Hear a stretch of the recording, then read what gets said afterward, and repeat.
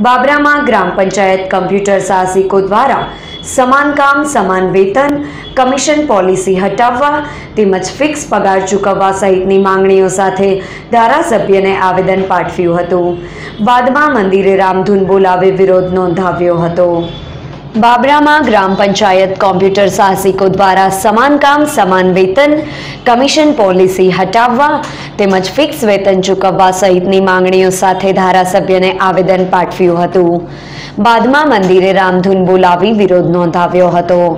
બાબરામાં VC કર્મચારીઓ દ્વારા ધારાસભ્ય વીરજીભાઈ ઠુમ્મરને પાઠવેલ આવેદનમાં જણાવ્યું હતું કે ગુજરાત સરકાર દ્વારા વર્ષ બે હજાર છમાં ઈ ગ્રામ વિશ્વગ્રામ સોસાયટીની રચના કરી આ યોજના હેઠળ રાજ્યમાં તમામ ગ્રામ પંચાયતમાં ઈ ગ્રામ કેન્દ્ર બનાવી બે હજાર સાતમાં દરેક પંચાયતમાં વીસીઈની નિમણૂક કરવામાં આવી હતી.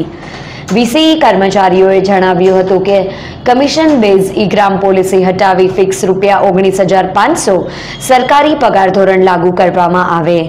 સરકાર સાથે સોળ વર્ષથી સળંગ કામ કરતા હોય, સરકારી કર્મચારી જાહેર કરીને વર્ગ ત્રણમાં સમાવેશ કરવામાં આવે. નોકરીમાં રક્ષણ આપીને સમાન કામ, સમાન વેતન આપવામાં આવે. આરોગ્યલક્ષી સુવિધા આપતા પરિવાર સહિત વીમા કવચ આપવામાં આવે. કોરોના મહામારીમાં મરણ પામેલ વિષયને આર્થિક સહાય આપવામાં આવે. સ્પીડ ધરાવતી ઇન્ટરનેટ કનેક્ટિવિટી પૂરી પાડવામાં આવે. વિષયની કામગીરી બાબતે જોબ ચાર્ટ નક્કી કરવામાં આવે વગેરે માંગણી કરવામાં આવી હતી. બાદમાં કર્મચારીઓ અહીંના વધાવ્યા હનુમાન મંદિરે એકઠા થઈ રામધૂન બોલાવી વિરોધ દર્શાવ્યો હતો. વિસ્તારના અને બાબરા તાલુકાના વીસીએ દ્વારા મને ગ્રામ પંચાયતના કોમ્પ્યુટર માટે કરતા કામ. એક આવેદનપત્ર જે આપ્યું છે, એ આવેદનપત્ર એક રાજકીય આગેવાન તરીકે સ્વીકારું છું. અને તમારા જે કોઈ પ્રશ્નો છે, તેમાં નિમણૂકનો પ્રશ્ન, કામગીરી અને કમિશન વહેંચણી માટેનો પ્રશ્ન છે.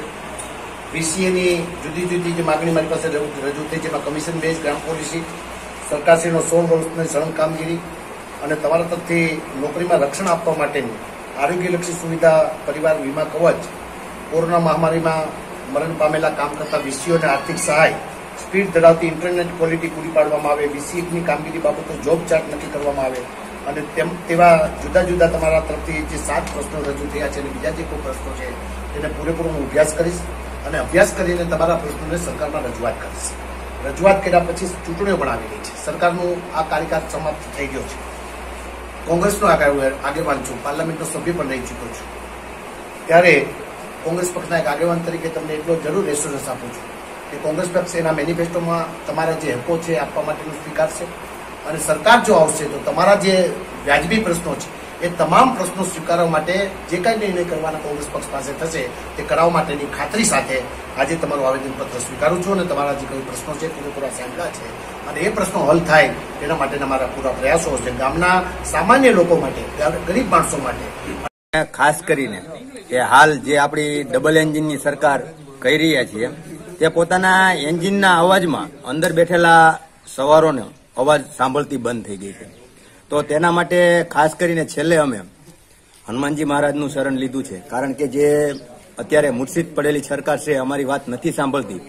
તેને કંઈક જડીબુટીનો થોડો ઘણો ભાગ સુંઘાડી અને તેની નિંદ્રા ઉગાડે અને જે પાયામાં જે ગામના સામાન્ય લોકો અને ખેડૂતો માટે જે કામ કરી રહેલા વીસીઓ છીએ અમે. અમારી સંખ્યા ઓછી છે, પણ અમે જાજામાં જાજા લોકોને કવર કરીએ છીએ અમારી સેવા આપવા બાબતમાં. તો અમે તળિયામાં રહીને કામ કરી રહ્યા છીએ. તો ખાસ કરીને એના માટે તે અમારા લાઠી અને બાબરા બંને વીસી મંડળો દ્વારા આજે હનુમાનજી મહારાજનું શરણ લેવામાં આવ્યું છે. અને તેમની આગળ આજે રામધૂન કરી અને ભગવાન હનુમાનજી મહારાજ સરકારને સદબુદ્ધિ આપે કે તે અમારા માટે થોડું ઘણું વિચારે અને અમારી બાજુ થોડું ધ્યાન કરે વસ્તુ.